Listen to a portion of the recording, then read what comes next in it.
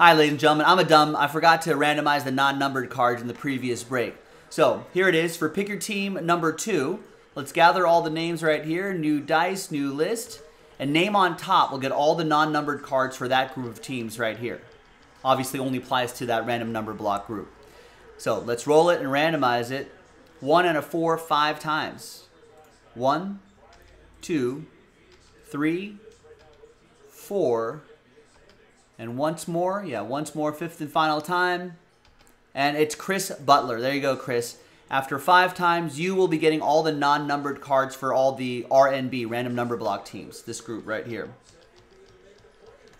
There you go. Thanks for the reminder, Zach. Thanks, everybody, for watching. I'll see you next time for the next break. Bye-bye.